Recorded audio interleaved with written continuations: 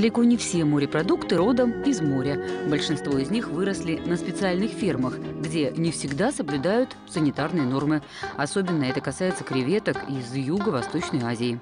Можете себе представить, э, что это за креветки, которые, скажем, выращивают в долине Меконга, который просто э, кишит нечистотами, который просто нашпигован э, всевозможными пестицидами. Не стоит покупаться и на размеры креветок. Большие, королевские, тоже продукт аквакультуры. Мелкие же, напротив, как правило, дикие. При выборе э, креветок обратите внимание прежде всего на нашу дикую креветку, выловленную в морях. Вот, скажем, э, Чилим дальневосточный. В наших э, северных морях креветка, безусловно, мельче, чем в тропических странах, но она гораздо более вкусна и более востребована на э, международных рынках.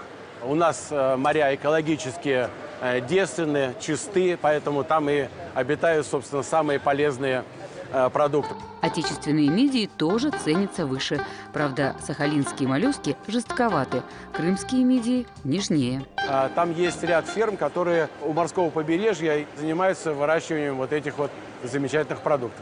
Крымские мидии имеют вот такой вот темный оттенок. Но стоит знать, мидии, подобно фильтрам, пропускают через себя десятки литров воды в день. И их качество зависит от того, в каких условиях они росли.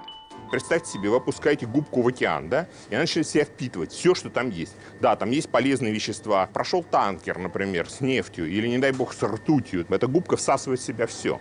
Достаточно вам съесть одну испорченную мидию, и никакая скорая вас уже не спасет. Настолько сильный токсин развивается в этих мидиях. Такие мидии, как и любой испорченный морепродукт, легко вычислить по запаху. Кстати, гигантские тропические кальмары тоже пахнут, причем жутко невкусно, аммиаком. Некоторые производители их вымачивают в различных растворах, а потом режут. В ход идут не огромные тушки, а более дешевые щупальцы. Из них и получается вот такие кольца. Некоторые алчные трейдеры под видом этих кольчиков э, шинкуют от этих гигантских кальмаров и, собственно, предлагают нам как качественный наш кальмар. Этот кальмар живет уже бог знает сколько лет. А, Он, э, бог знает уже чем напитался. Поэтому берите кальмары целиком. Выбирайте небольшие, размером с ладошку. Они намного вкуснее. Прежде всего, рекомендую покупать э, кальмары размером от 20 там, до 40 сантиметров. Вот такого нежного, э, светлого цвета, выловленные у нас на Дальнем Востоке. Самый лучший кальмар в мире. С морскими обитателями мы определились. Но как быть, если их выбрали за нас? Японская кухня очень популярна в России, но регулярно Роспотребнадзор сообщает об отравлениях суши и роллами, приготовленными из сырой рыбы и морепродуктов. Мы решили проверить свою удачу и отвезли в лабораторию две порции суши, купленных в разных местах.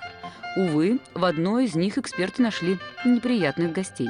В образце суши номер два мы обнаружили превышение содержания дрожжей в 8 раз больше нормы. Было обнаружено наличие бактерий группы кишечных палочек, которые вызывают общую интоксикацию организма. Экспертиза показала, шансов отравиться у нас 50 на 50. Чтобы не рисковать, выбирайте теплые роллы и суши, в которых основной ингредиент термически обработан. И не пренебрегайте готовкой морепродуктов дома. Проварите их хотя бы несколько минут. С кальмаров не забудьте снять пленку. Следите за тем, чтобы при варке все раковины мидий открылись. Если какие-то остались закрытыми, не ешьте их. Себе дороже. И последнее. Какими бы вкусными морепродукты не были, употреблять их стоит нечасто. Если мы съедаем больше 300 грамм, мы получаем примерно 150-200 грамм белка. При норме примерно 70-80 грамм.